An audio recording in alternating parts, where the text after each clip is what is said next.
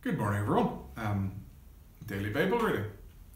Today we come to Genesis 39, and after the uh, unpleasant series of incidents that we learn about Judah and his family yesterday in Genesis 38, we return to the account of what is going on in Joseph's life.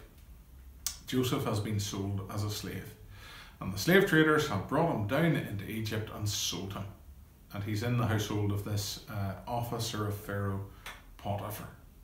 He is obviously a very able person, a very able administrator. He is also blessed by God. He gets the position where he's in charge of Potiphar's household, but Potiphar's wife decides that she wants to have sex with him and attempts to force him to do it. When he declines, she accuses him of rape or attempted rape, and he is imprisoned, waiting presumably an even more unpleasant punishment. But in time, he is brought to a position where he is the most trusted inmate and is in charge of everything in the prison, um, which is where we will leave him at the end of Genesis 39. And this shows the provision of God, the remarkable provision of God in sending Joseph to Egypt, where he will eventually, through God's blessing, rise to be in a position to save his family whenever the great famine comes and also to provide his family with a place in Egypt where they will grow into a great nation. God uses all this adversity and all this difficulty in Joseph's life to raise him up to a place where he will be the agent of the fulfillment of God's promises. God provides for his people. Genesis chapter 39. This is God's word. And Joseph was brought down to Egypt and Potiphar, an officer of Pharaoh, captain of the guard, an Egyptian, bought him of the hands of the Ishmaelites, which had brought him down thither.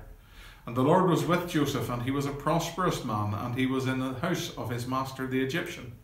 And his master saw that the Lord was with him, and that the Lord made all that he did to prosper in his hand.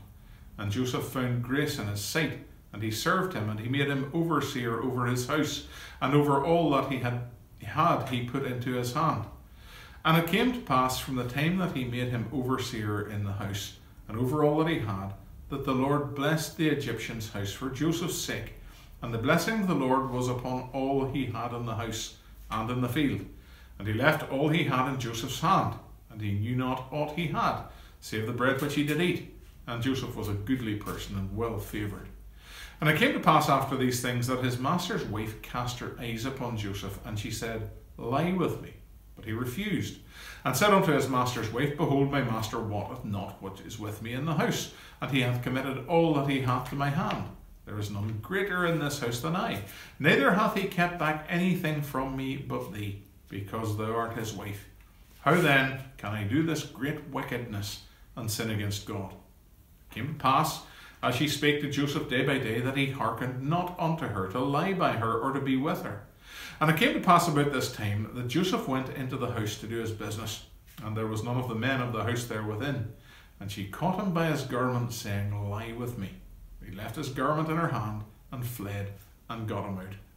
And it came to pass, when she saw that he had left his garment in her hand, and was fled forth, that she called unto the men of her house, and spake unto them, saying, See, he hath brought in an Hebrew unto us to mock us.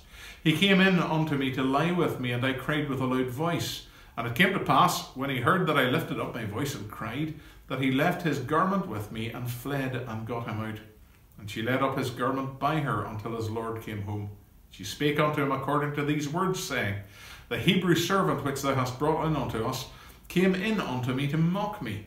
And it came to pass, as I lifted up my voice and cried, that he left his garment with me and fled out. And it came to pass, when his master heard the words of his wife which she spake unto him, saying, after this manner did thy servant to me, that his wrath was kindled. And Joseph's master took him and put him into the prison, a place where the king's prisoners were bound, and he was there in the prison. But the Lord was with Joseph and showed him mercy, and gave him favour in the sight of the keeper of the prison. And the keeper of the prison committed to Joseph's hand all the prisoners that were in the prison, and whatsoever they did there, he was the doer of it. The keeper of the prison looked not to anything that was under his hand, because the Lord was with him and that which he did, the Lord made it to prosper.